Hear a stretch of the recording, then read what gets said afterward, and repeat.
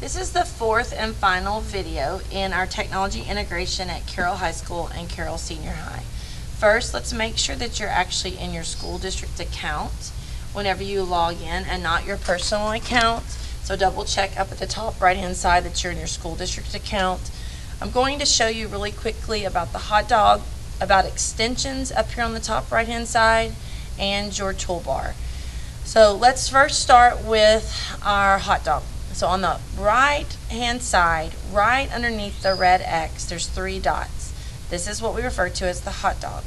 If you click on the hot dog, which used to look like three lines parallel to you that look like three hot dogs that have been turned 90 degrees, um, and, but they're still called the hot dog, even though they don't look like hot dogs anymore. But when you click on the hot dog, you can actually see your history, your browsing history. Um, you can see your downloads.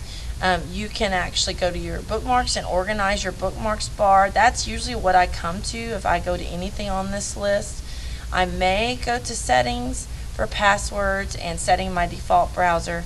But other than that, I'm usually not a big hot dog user. Um, and you should really not have to go there very much either. So what we're going to do is we're going to swing all the way to the left hand side and we're going to go um, on the left. Let's go to the colorful waffle. So when you click on the colorful waffle, you know that's where your web store is. These are shortcuts to the apps for slides, sheets, docs, and to your drive. What you'll notice is I have a little icon for drive up here on my toolbar. And so I'm going to show you how to set up uh, an icon like that as well. So let's go to docs. Let's say that docs is your favorite website, or maybe like you see right here, I have a favorite website, it's Bozeman Science. So go to your favorite website, and you let's say you get tired of actually typing that in every time what you can do is you click on the URL so the whole thing is highlighted. You hold down your cursor or your um, sorry your left button and you drag that URL down onto your toolbar. And when you do that the icon and the name of the website both show up. So what you'll see is I don't have names on these icons on the left but I do have a name right here um, on the um, on the one I just downloaded. So I'm going to right click on that one. I'm going to go to edit and I know the icon. I don't need the name to know the icon. So I'm going to actually delete the whole name. Now it suggests if it's a website you're not usually familiar with, you might want to leave the name. But for this one, I know this one, so I'm going to delete the name altogether. And when I do, what you'll see is now it's just the icon. So I could load up all my favorite websites if I know their icons, like Pandora would go across here, my online stopwatch. I would have a lot of icons loaded onto my toolbar just to save me time from having to type in the URL every time. The last thing I want to show you is how to download an extension and your extensions are going to show up over here on the top right hand side. Um, so some of you probably have um, a little blue cloud up there um, and that's good. Some of you may have more than that, but for now I'm just going to assume that you guys just have the blue cloud. So I want everyone to click on the colorful waffle, then on the web store app, and you will see in the web store you've got extensions, themes, and Carroll ISD. So extensions are like what I would describe like an app on your phone. On your phone, if you want to download an app like a GroupMe app or a YouTube app, you would go to the App Store.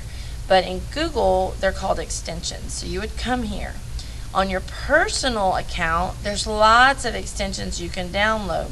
And you may have some really ones that you actually just love. But you're now in your school district account. So in your in your school district account, you're limited to the ones that the district has approved. So you're going to click on Carroll ISD on the left hand side under the Chrome Web Store and these are ones that are safe and have been approved. Not there's not others, but these are the ones we've started off the year with. So we're going to scroll down through this list and you can pick another one, but I would suggest that you scroll down to the one that says Ad Block Plus. Ad Block Plus has a red stop sign with the letters ABP in them and then click Add to Chrome. It's going to give you a message that says, do you want to add this to Chrome? You're like, yeah, buddy. And you're going to let it add to Chrome and you're going to see maybe, sometimes they pop up, the whole window opens up to that uh, extension. Sometimes they don't. But you'll see the little red stop sign has now appeared in your top right hand side. So now from now on, your ads will be blocked when you go to certain websites so that it doesn't, you know, slow down your YouTube viewing and things of that nature. If you try to download an extension that's not allowed, you'll get an error message um, that prevents you from downloading it. Um, like this, it'll say, I'm sorry, this is blocked by your administrator. If you are certain beyond certain that this is a safe app or an extension that is not harmful and that you think every student in Carroll ISD might take advantage of this one because it's a good one, then what we have set up for you is a form that you can fill out. Your teacher has actually loaded that form, hopefully, onto their Canvas page. Um, and you have to be logged into your school district account in order to fill out the form. But the form will allow you to request an extension to be added to the Carroll ISD store. So if that's the case, then you can fill out the form and maybe it'll get approved for Dragons Everywhere. So hopefully this has been a really helpful video reviewing you how to save your bookmarks, what the colorful waffle can do for you, and what those hot dog, why it's called a hot dog.